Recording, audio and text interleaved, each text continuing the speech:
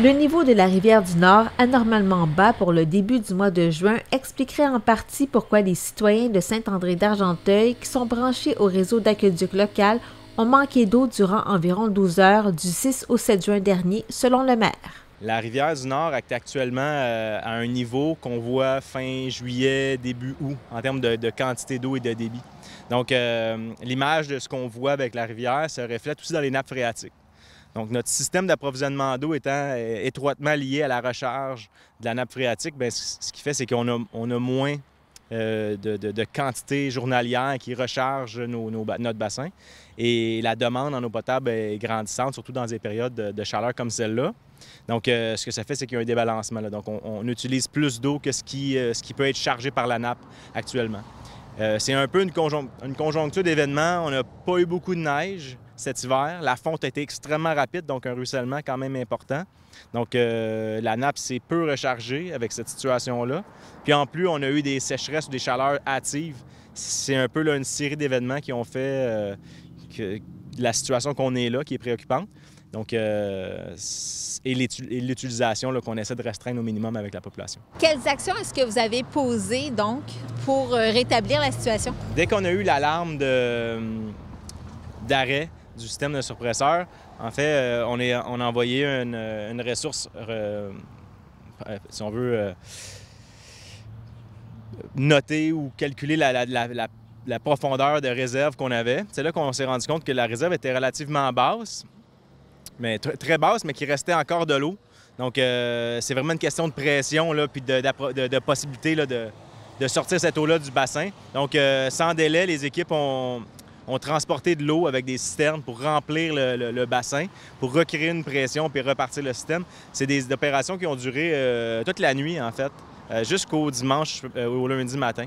On a même eu l'intervention des pompiers pour transférer avec les citernes de l'eau de la municipalité de la Chute dans nos bassins pour augmenter ce volume-là, pour recréer une pression et de réapprovisionner notre, notre population en eau potable ce qui a été fait tout au long de la nuit pour une remise en fonction dès le début de la journée vers un objectif 6 heures le matin, ce qui a pris un peu plus de temps pour la, mise en place due euh, à la demande et l'air aussi qu'il y avait dans le système.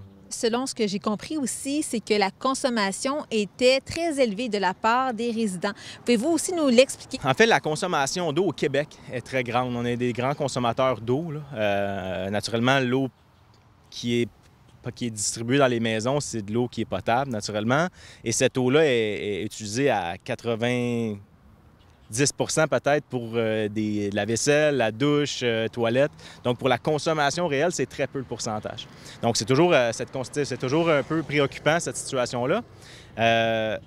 on a une consommation, avec la réduction, il y a quand même un effort collectif qui a été fait depuis les, efforts, l'affichage qu'on a fait. Là. On parle en gallons en gallons US de consommation d'eau par jour. On est environ à entre 190 et 215 000 gallons de US de, consommation journalière. Ça, c'est avec les restrictions, avec l'affichage, avec les, appels automatisés, même avec une patrouille euh, de soir et de fin de semaine pour essayer de sensibiliser les gens. On a eu des points de consommation qui ont dépassé le 300 000 gallons dans des périodes euh, de fin de semaine achalandées chaudes, remplissage des piscines, jardinage et autres. Donc, cette consommation-là, pour 611 résidences euh, sur le réseau, c'est quand même important. Est-ce que la Ville a fourni des bouteilles d'eau aussi aux gens? Euh, la Ville a fourni dans certaines mesures des bouteilles d'eau aux, euh, institutions ou écoles CPE. Le CPE a fermé cette journée-là, donc on n'a pas été en, mesure de le distribuer. Ça s'est fait durant la nuit comme tel. Donc on avait des ressources prêtes. L'école s'est rapidement adaptée là, avec avec un message aux parents d'amener de l'eau. Puis bon, ça a été quand même, d'une certaine mesure, tout le monde a travaillé en équipe pour le faire. On a de l'eau aussi en réserve actuellement en bouteille, qui a été euh, fournie par Ice River Spring, une compagnie locale.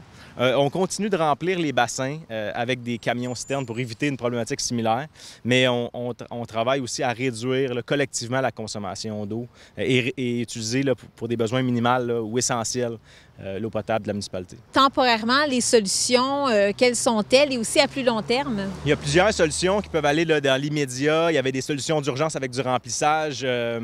Euh, du remplissage, même avec les camions citernes, pour accélérer durant la nuit, si on veut, le, remplissage d'urgence pour permettre au système de repartir le matin. Euh, il y avait déjà en amont tout ça, des, recherches de sources d'eau potable euh, euh, nouvelles, une meilleure quantité, en fait, avec les, puits qui sont en place. Donc, le travail était déjà en place.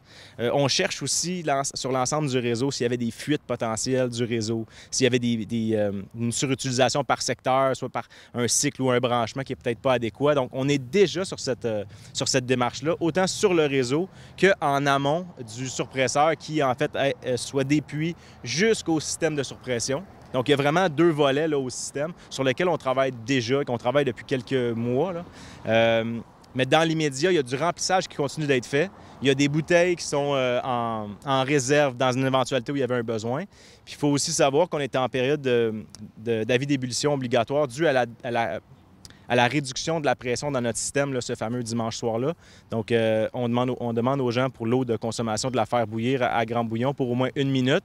On espère être en mesure de d'éliminer cet avis d'ébullition-là en début de semaine prochaine, idéalement lundi, peut-être avant, mais on travaille avec le ministère à ce sujet-là. Pour obtenir plus d'informations, consultez le site Internet de la municipalité de Saint-André d'Argenteuil à stada.ca ou leur page Facebook.